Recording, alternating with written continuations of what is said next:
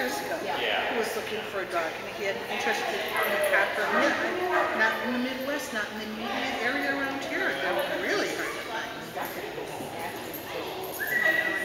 So I, would- I, I got it, I got in touch with a breeder in Kokomo, uh, Kokomo, Indiana.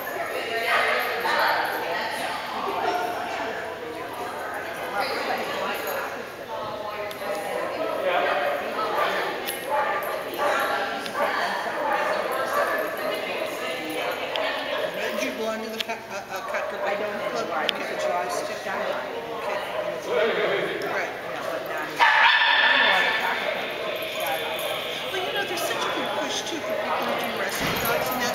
I mean, I still belong to the Terrier Club, you know, but it is, when I started, you know, I mean, he's five. When I started, you know, I was showing him breed first. And we used to have, you know, meetings every other month and about 20 people are showing, show up.